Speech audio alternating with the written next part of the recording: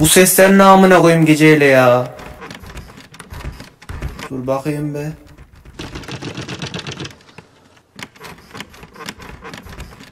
Gene mi sen geldin ya? Sıktın be artık Recep abi. Hayır bir şey de diyemiyoruz şimdi ayıp olacak diye. Yok yeter artık boku çıktı. Bu sefer dur diyeceğim artık.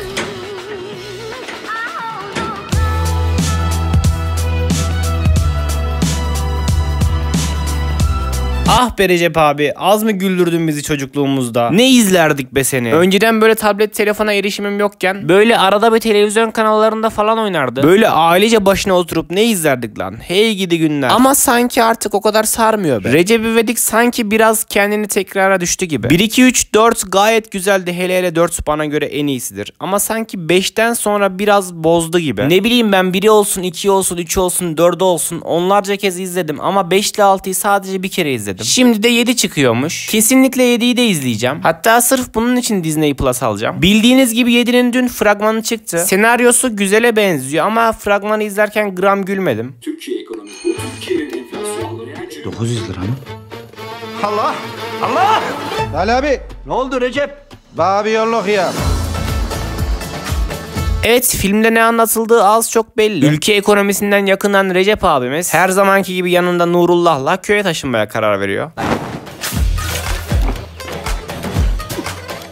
Yani bana bayağı sıradan geldi. Her zamanki gibi Nurullah'a bir takılmalar, şakalar. Bir kere bence artık Nurullah karakteri sıktı. Adam gitmiş TikTokçu olmuş zaten. Geçen gördüm yayın falan açıyordu. Bakın yanlış anlamayın. Nurullah karakteri kötü demiyorum ama artık sıktı. Ne bileyim Recep'le aralarında geçen diyalog olsun hep aynı. Nurullah hep bir şeyden şikayetçidir. Recep hep onu zorlar. Recep hep vurur, şakalar yapar. Nurullah bunu şikayet eder, yapma falan der. Şimdiye kadar hep böyle oldu yani. Recep İvedik 7'de de farklı bir şey göreceğimizi düşünmüyorum. Bir kere bence farklı bir şekilde yan karakter oluşturulmalı. Ve bence o karakter böyle sıradan bir insan olmamalı ya. alan üzerine oturtulmuş bir tesis. Ben şimdi projeye bakıyorum da bizim köyü göremedim. Tam olarak nerede bizim köy? Biz sizin köyü oradan kaldırdık. Selamünaleyküm canlar.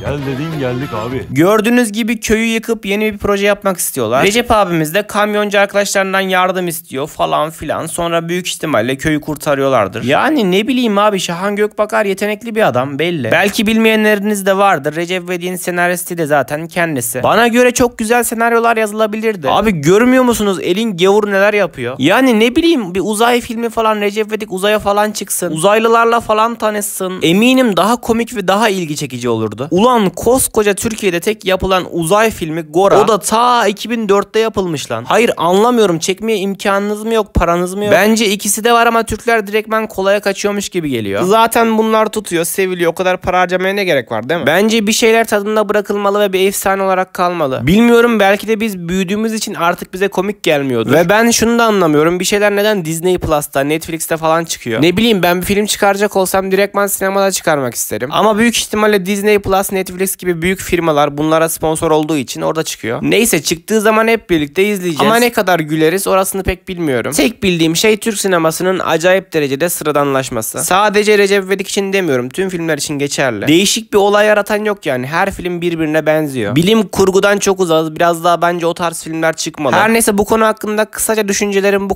kadardı. Ha bu arada biliyorsunuz ki biz yeni bir Discord sunucusu açtık. Oraya gelip güzel sohbetler ve güzel tartışmalar yapabilirsiniz. Linki açıklamaya koyuyorum ve herkesi bekliyorum. Her neyse bugünlükse benden bu kadardı. Yarın yine görüşmek üzere. Şimdilik kendinize iyi bakın. Hoşçakalın. Ben artık gidiyorum koçum. Yolcu yolunda gerek.